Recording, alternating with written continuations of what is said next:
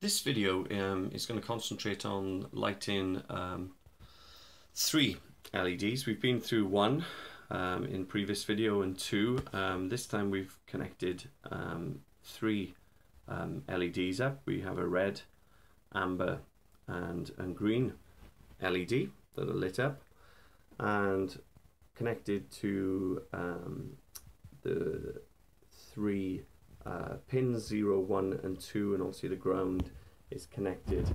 And as you can see here if I zoom in a little bit closer you can see how all those pins are connected.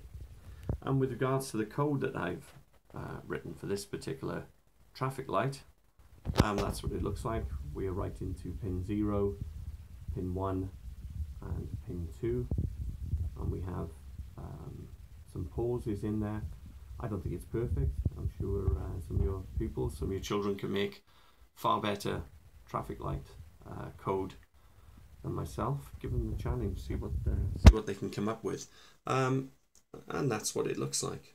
So we're on green. We have the pause, and my traffic lights go straight back to red. And then we have red, amber, and through to green again.